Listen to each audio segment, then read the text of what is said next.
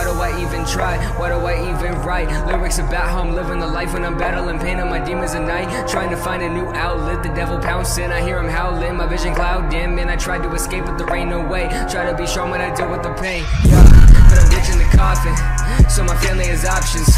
Gonna work till I'm dead. So that they get the best Don't wanna set up a bad example Cause kids looking up can't leave a shambles can't